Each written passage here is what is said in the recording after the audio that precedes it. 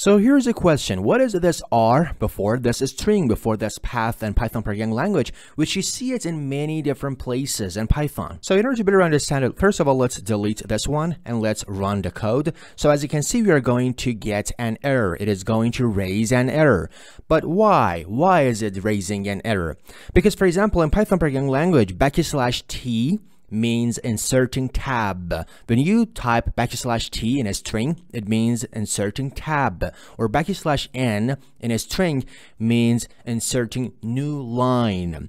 So as you can see, it is considering the role of these things. For example, the role of backslash t is inserting tab. The role of backslash n is inserting new line. So if you want to fix this problem, there are three ways that you can do. Number one is to replace all of these backslashes with two backslashes. So let's replace all of them and also this one. And now if I run the code, you can see there is no problem and we don't get any error and that was the output. So this was method number one. And the second method is replacing these backslashes with a forward slash. So let's replace all of them.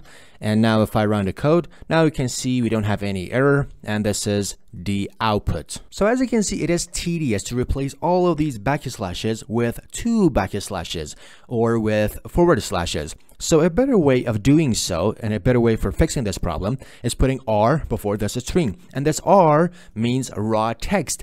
It means that consider this text as it is in a raw format. It means that, hey Python, don't consider and don't interpret backslash t as, for example, inserting tab. Don't interpret backslash n as inserting new line. Consider this text as it is, I mean the raw version. So this R means raw text. And now if I run the code, you can see here is the output and we don't get any error. And here are two videos which I suggest you to watch as well. And don't forget to subscribe for more videos like this.